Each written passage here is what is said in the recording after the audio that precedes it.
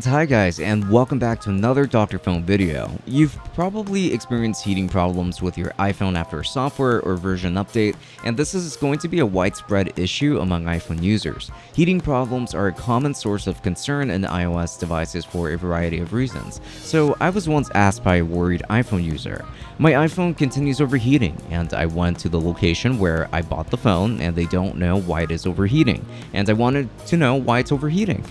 So in this video, I will be answering that question. But before I go into detail, please go ahead and hit that like button. Also hit that subscribe icon and remember to turn on notifications so that you may always get notified whenever we upload a new video or problem solving tips just like this.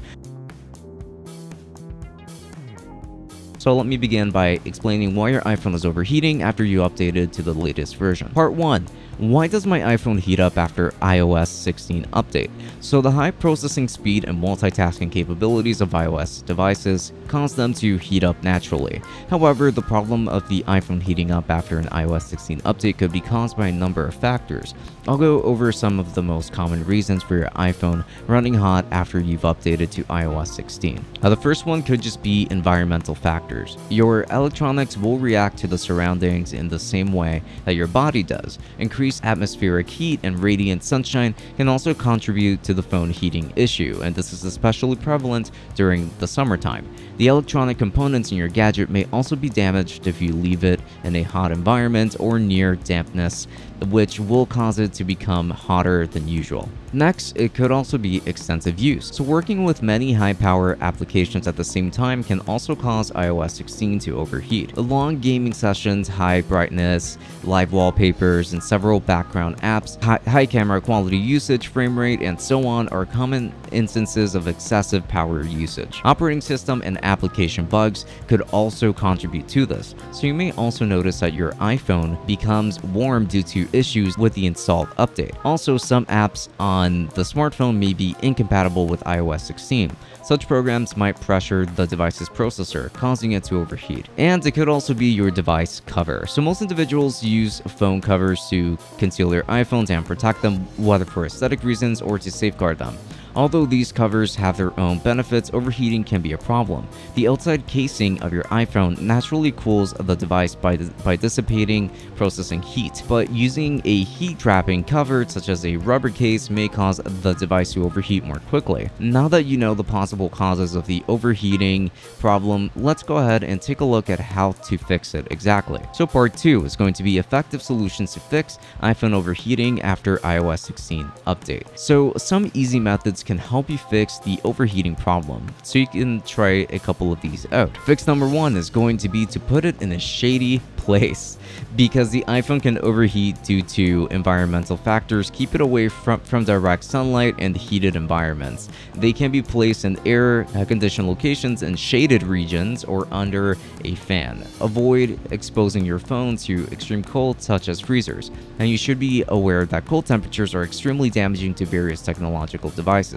A fast transition from a hot to a cold environment may cause further damage as well. Fix number two is to give your phone some breathing room. Intense use can sometimes cause your iPhone to get hotter than usual.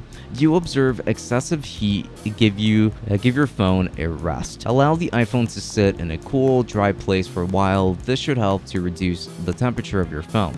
And if you must use the smartphone at this time, it is best to reduce the screen brightness. Another good approach is to close the various apps that are operating in the background just to minimize heating. Fix number 3. Remove your iPhone case. As I earlier mentioned, the outside coating of your iPhone is important for keeping the processor cool by dissipating heat. Placing the device inside a cover insulates the latter's rear and traps CPU heat. This causes your iPhone to overheat. When temperatures rise above usual, remove your gadget from its cover. The trapped heat will be released to cool the iPhone. Fix number 4 is going to be to use professional third-party software. If none of the fix options discussed in this video ma manage to eliminate your iPhone's overheating issue following an iOS 16 update, your device's iOS system is to blame.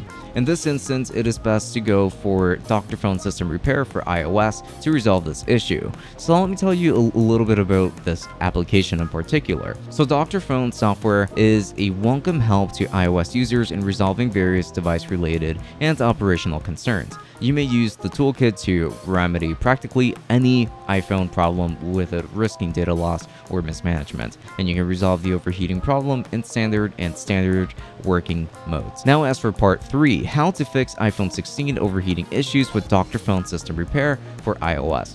So the Dr. Fone app makes resolving the iPhone heating issue very simple. You must install the Dr. Fone System Repair app on your computer and then follow the steps coming right up. After the app has been installed, go ahead and launch it and then select the system repair option from its welcome page. Next, go ahead and use a lightning cable to connect your iPhone to the PC. Allow the application to recognize your device, and then next go ahead and select either the advanced or standard modes to maintain information security. It is best to use the standard mode. This is actually due to the fact that using this mode will not put your data in danger or loss or mismanagement of any kind. Your iPhone's model will be automatically detected along with a list of compatible iOS versions, so go ahead and select iOS 16 and then tap on the start button. And then the firmware is now downloading. Now because the file is rather large, this may take some time, and so maintain a continuous data connection during the process. If the firmware fails to download, go ahead and click on the download button to start the process manually in your web browser. So following that, go ahead and press the select option to restore the downloaded firmware from there. The program is just going to confirm after it's successfully downloaded, and after successfully verifying the firmware, the following screen shows. And to begin the repair procedure, go ahead and select Fix Now. It may take a few minutes to resolve the issue issue, so just wait for your iPhone to restart to see whether the overheating problem has gone away. I will add a bonus to help you ensure that your iPhone is free from heat threats. So part 4 is going to be a bonus here. Tips to avoid iPhone overheating problems. Through frustrating and unpredictable phone overheating problems can be avoided with simple precautions, so make use of MFi certified chargers and also repair hardware issues. Although it is natural to face a heating problem on an iOS device, once in a while when the problem persists after an iOS update, there might be a problem. I have shown you some common ways to fix the issue, but if you're still faced with the issue after using them, I strongly recommend that you try using the Dr. Fone app. Also, please drop a comment in the comment section to share other methods that you think will work with me. And if you haven't subscribed, please kindly do so now, and I hope to see you all on, on the next video. So, have a good one.